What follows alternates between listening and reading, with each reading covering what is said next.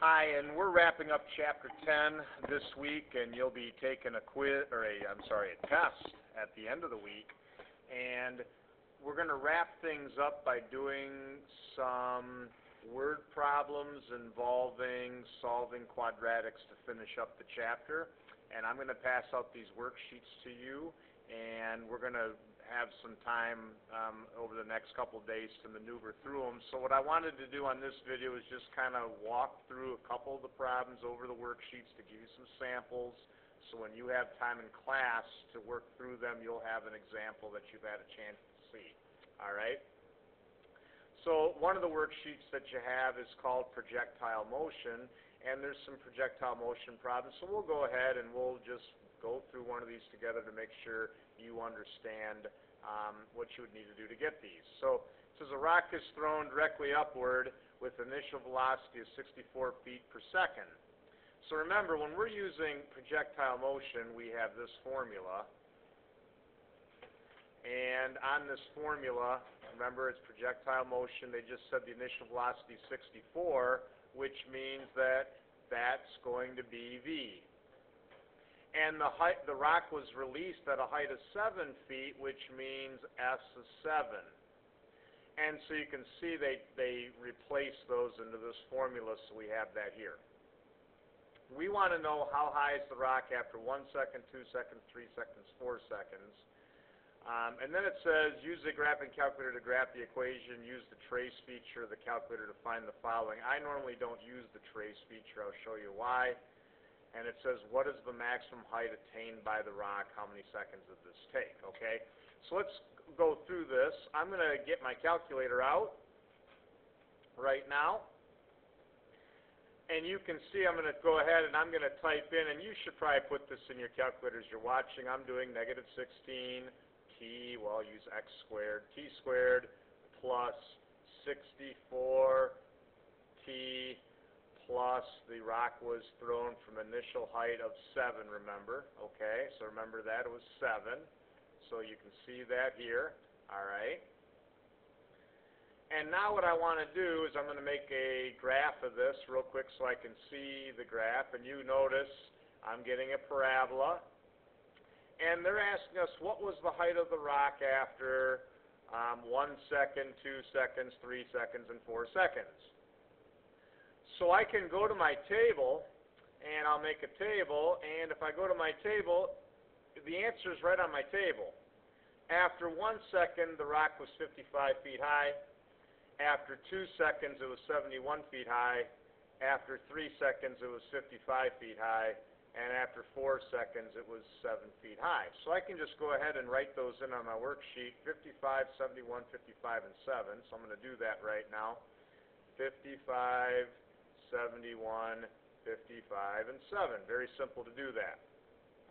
Now the next thing, use a graphing calculator to graph it. I already did that. Use the tray. I wouldn't do that at all. What is the maximum height attained by the rock? Now think about that for a minute. Your parabola was this. Isn't the maximum height at the vertex? Remember that from our sketching? The maximum height has to be the vertex. Well, finding the vertex is easy. Instead of using this trace feature, I can quickly just go ahead get my axis of symmetry, so I'm going to do that. I have the opposite of 64 over 2 times negative 16, which means I have negative 64. Oop, I wasn't writing good here. Negative 64 over negative 32. That's positive 2. My vertex must be at 2 something. Well, didn't we already see that at 2 seconds the height was 71? We just found our maximum height. The vertex is at 271. The maximum height had to be at 71. After how many seconds did the rock hit the ground? Well, this is where we would want to see our graph in our table. So let me go back. Let's go back and graph that again. It looks to me like when I'm looking at this carefully, it looks, oops, let me get back here. It looks like to me our graph is touching the x-axis at about 1, 2, 3, 4 seconds roughly. At about 4 seconds.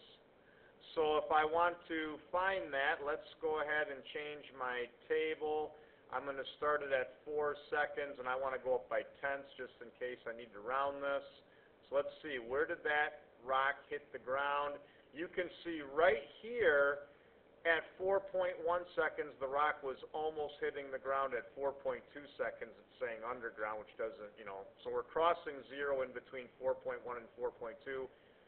We're definitely closer to zero at point forty-four or forty-four hundredths than negative six point four four. So four point one seconds is the closest tenth to when the rock hit the ground. So it would be, let me go back to my sheet here, it would be at about four point one seconds the rock hit the ground.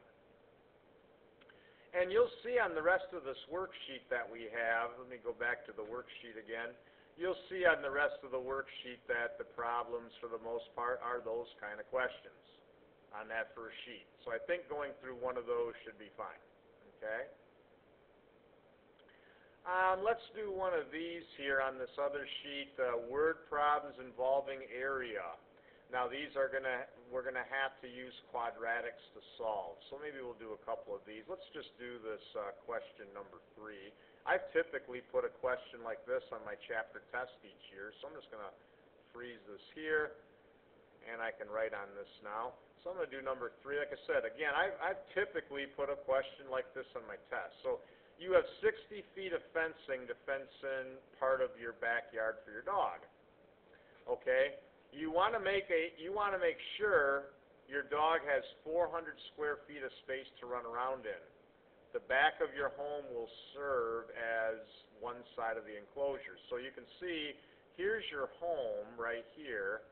This is your home, and then you have sixty feet of fence. So your sixty feet would have to be from here to here to here, that's your sixty feet. So think about that. If you have a rectangle, you have width, you have length, and you have width. So if I take, if I take width plus length plus width, it's supposed to equal sixty feet.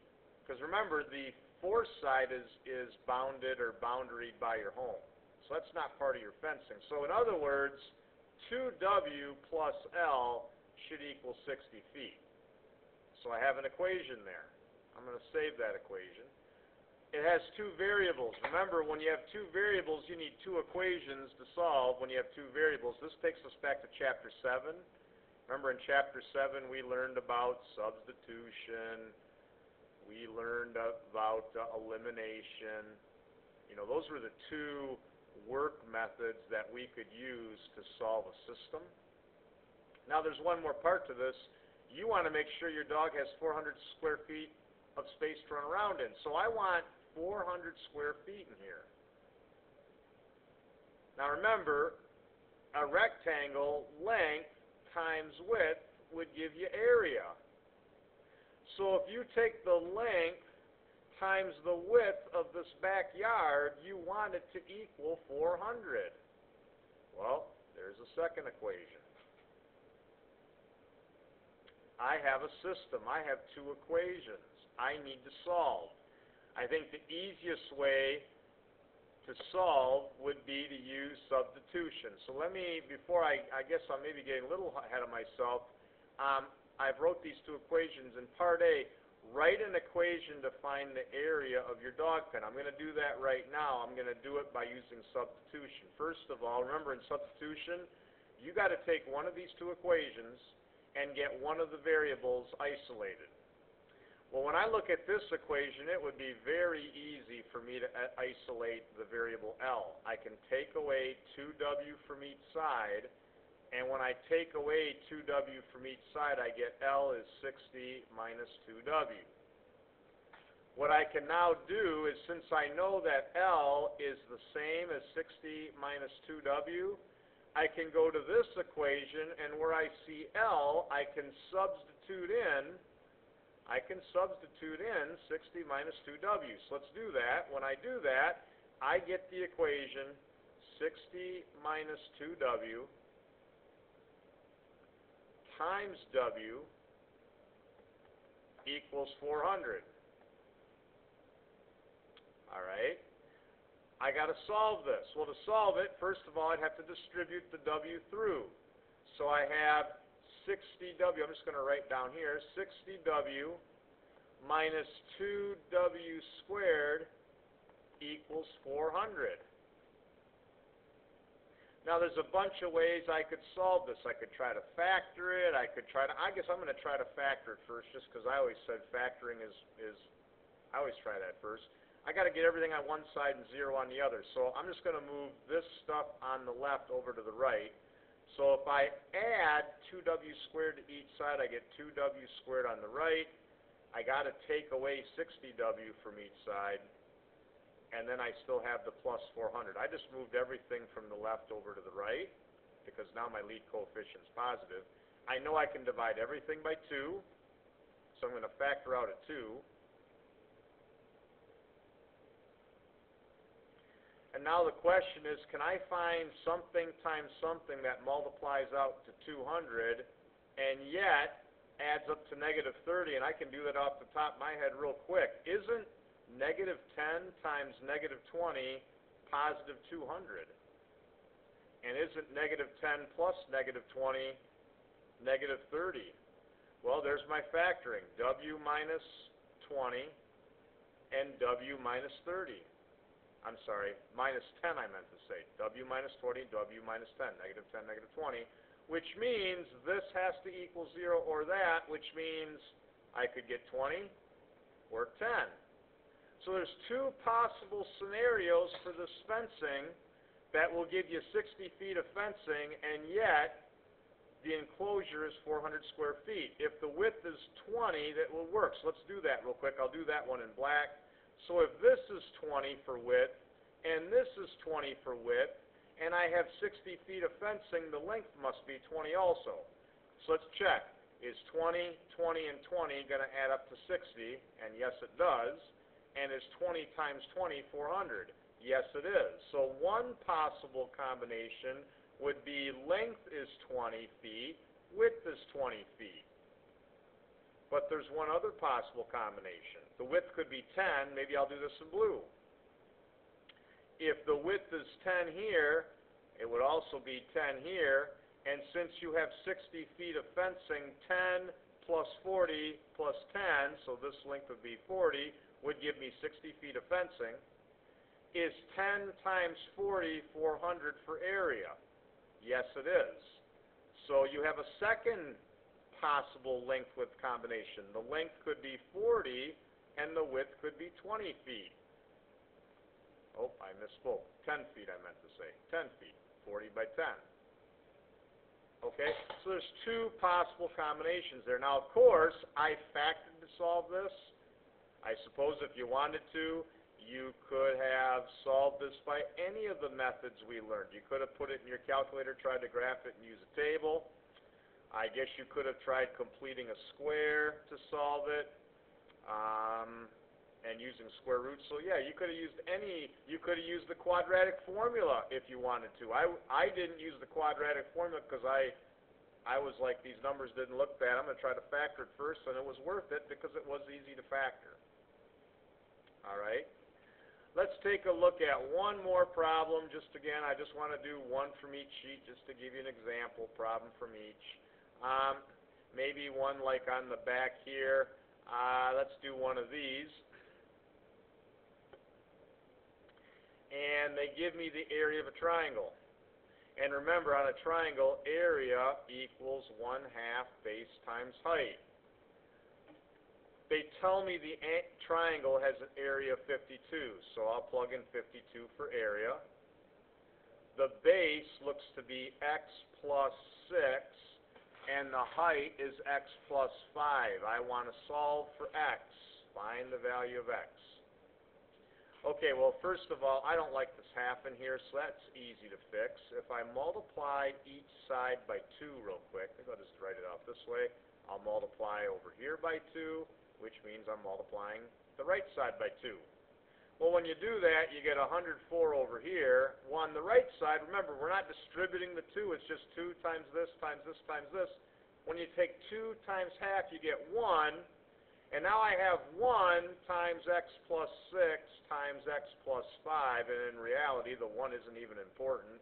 When I take one times x plus six, I get that, right?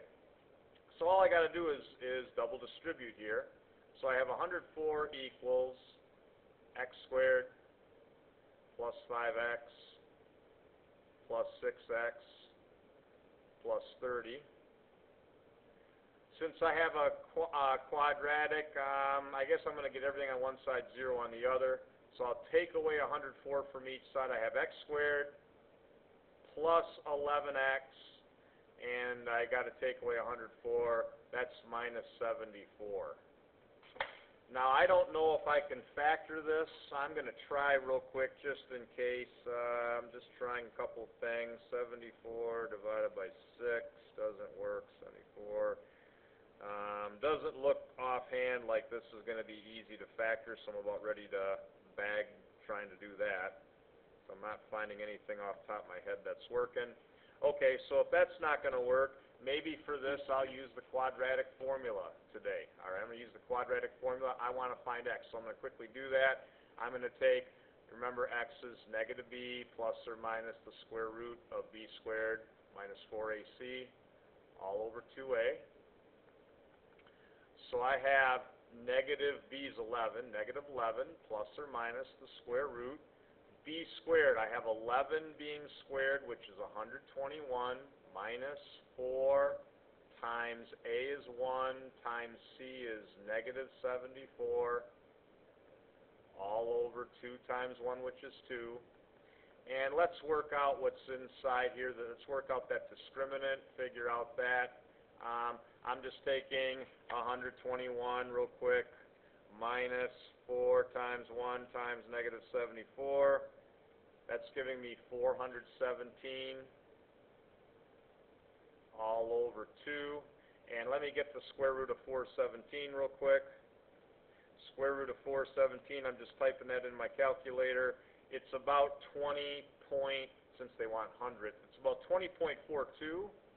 So this is really negative eleven plus or minus twenty point four two over two. Okay, so I get two roots. Let's do the addition first. Negative eleven plus twenty point four two, that's nine point four two, and I divide that by two, I get four point seven one. So one possible solution is four point seven one. I'm not even gonna bother with the other one, because if I take negative eleven minus twenty, I'm getting a negative amount, and a negative divided by two is a negative. Now think about it, can your triangle, if I put these negative amounts in here, well, I guess I, I guess, let me just double check that, before I say that, let me just double check it. So negative eleven minus twenty point four two is negative thirty-one, yeah, that's not gonna work, I get negative fifteen point seven one, well, look what happens if I plug a negative fifteen in here. I'm gonna get negative ten roughly, which I can't have a height of negative ten, so this isn't gonna work. So four point seven one would be the correct solution, let me just double check that, make sure it works. If I put four point seven one in here, I get nine point seven one feet in height. And if I put a four point seven one here, I get ten point seven one feet in base.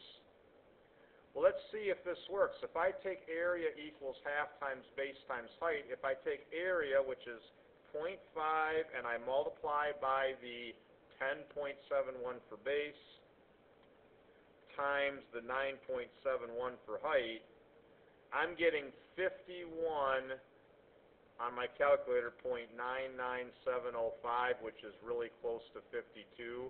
Well, that's what I'm supposed to be getting. So four point seven one would be the correct response for X, okay? I'm gonna stop the video here. Again, I just wanted to do a few problems, uh, one of each to kinda get you started on the worksheet, so when you come in next week, um, you can get into this, all right?